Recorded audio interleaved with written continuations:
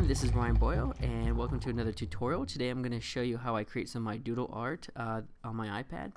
Uh, I've gotten a lot of uh, requests for this tutorial. I've been doing this series of doodle art and I've been creating them on my iPad using various uh, photo and drawing applications and I had a couple people email me asking how I created them. So that's what this tutorial is for um, and I want to thank everybody who's been kind of following this series uh, and a lot of the support I've been given with this. It's been kind of a fun uh, experiment I've been working on. And so let's go ahead and get started. We're going to go ahead and create this, um, I guess you would, it's Gasworks Monster uh, Doodle. Uh, this photo was taken um, at Gasworks Park uh, right across from where Seattle is. Um, and then I'm just going to go ahead and create this monster that goes right on top of this. He's going to he's to be basically just kind of moseying on through the, uh, the park here. So first thing I'm going to do is when I bring my photo in, I go ahead and take down the opacity so I can draw my doodle on top of it. Otherwise, it, I can't see the lines through the, the photo, especially if there's a lot of detail like in this photo.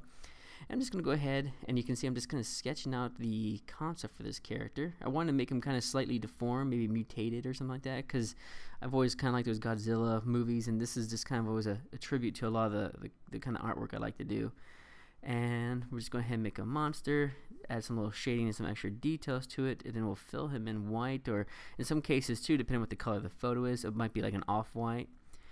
And it's gonna go ahead and maybe uh, take down some of the white and the light bulb to make it look more transparent.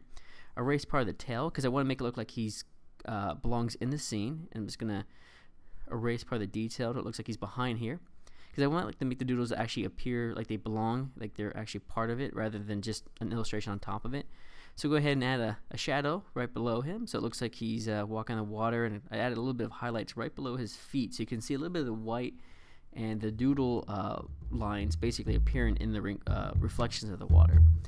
Uh, and there you go. That's how I create a lot of my uh, doodle art on my iPad. I hope you enjoy this tutorial, and thank you for watching.